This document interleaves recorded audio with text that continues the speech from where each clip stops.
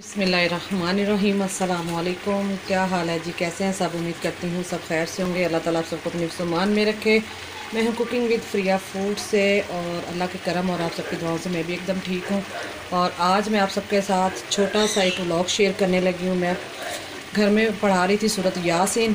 तो मैंने कहा, मेरे जितने फ्रेंड हैं, उन सबको अपने साथ शामिल किया जाए और अल्लाह ताला उन सब पर भी अपनी तमाम नेमतें और रहमतें रखे। और मैंने खैर बाहर से किसी को नहीं बुलाया। मैं अपने सहब सीत घर में बच्चों को बिठा के, अपने बच्चों को और मेरी छोटी भाभी को उन सबको बिठा के। सुरह यासिन पढ़ा रही थी तो मैंने कहा साथ साथ और न्याज भी साथ साथ दिला रही थी तो मैंने कहा सबके साथ भी शेयर किया जाए और आप सबको भी साथ में शामिल किया जाए। आप ही दुआ में शामिल हो और अल्लाह ताला आप सब पर भी अपनी तमाम नेमतें और रहमतें बनाएँ। तो यहाँ पे आप देख सकते हैं, मैं इससे पहले भी मैंने आप लोगों के साथ शेयर किया था, मैं चने वाला पुलाव बना रही थी। तो आज भी मैं चने वाला पुलाव बना रही हूँ तो यहाँ पानी हो चुका है, खुश्क तो हम इसको लगाएँगे दम। तो पहले इसको दम लगा लेते हैं। तो यहाँ पे चावल मैंने लगा दिए दम। मैं आपको दिखाती हूँ जहाँ पे पढ़ रहे हैं, छत पे पढ़ रहे हैं सब। नीचे वो कहते हैं, कमरे में अंधेरा भी होता है और गर्मी भी ऊपर खुली फ़ज़ा में पड़ते हैं तो छत पे है। तो फिर मैं आपको छत पे लेके चलती हूँ। चावल हमारे हो चुके हैं अलहमदिल्ला ये देखें एकदम हमारे चने का पुलाव हो गया रेडी मैंने बनाया था चने का पुलाव तो अब मैं इसको लेके चल रही हूँ छत पे। तो हम लोग छत पे चलते हैं, वहाँ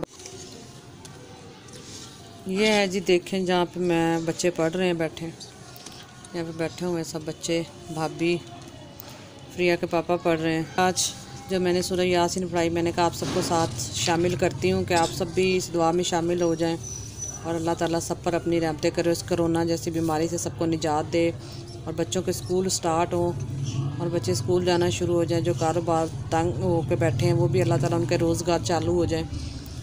बस आज सूरज यासिन, मैंने इसलिए पढ़ाई थी कि घर में कुछ खैर बरकत हो जाए।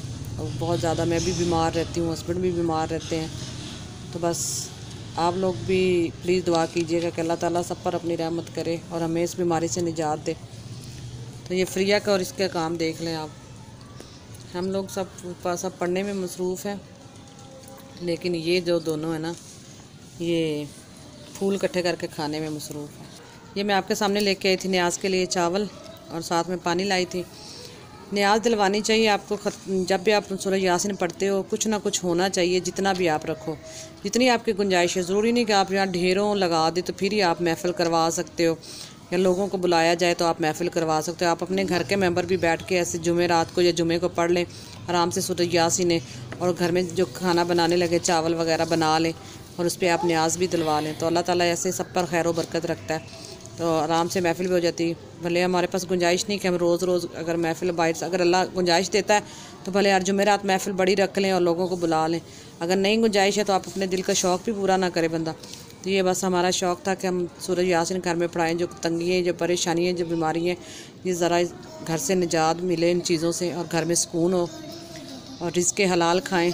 तो ये था जी मेरा छोटा सा व्लॉग जो मैंने आप सबके साथ बनाया, आपके साथ शेयर की कि मेरे पास जितनी गुंजाइश होती, इस तरह हम लोग अक्सर सूर्य यासिन पढ़ा लेते हैं, लेकिन आज मैंने कहा आप लोगों के साथ भी शेयर किया जाए। तो छत पे पढ़ रहे हैं कि ज़रा नीचे लाइट चली जाती है तो अंधेरा हो जाता है कमरों में तो इसलिए फिर हम लोग छत पे पढ़ रहे थे।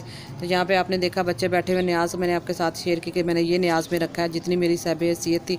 और बाकी यही था कि आप सबको शामिल करने का कि आप सब भी इस दुआ में शामिल हो जाए। अल्लाह आप सब पर भी अपनी रहमतें और नेमतें करें।